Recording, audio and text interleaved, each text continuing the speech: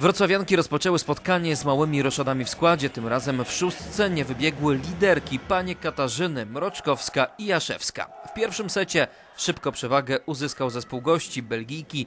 Prezentowały się lepiej w każdym elemencie i inauguracyjną partię zwyciężyły 25 do 18. W drugim secie nasze wreszcie zaczęły grać swoją siatkówkę. Było dobrze i na zagrywce, i w bloku, i w ataku. W efekcie gospodynie wygrały 25 do 18.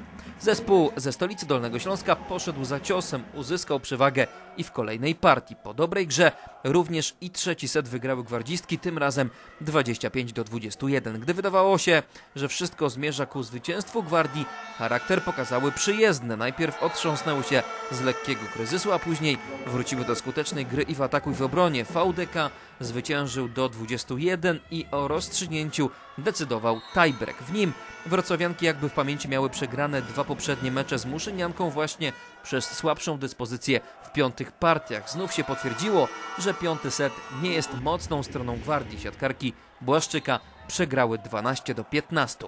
W zdecydowanie lepszej sytuacji są teraz zawodniczki z Belgii za tydzień rewanż w Chęt.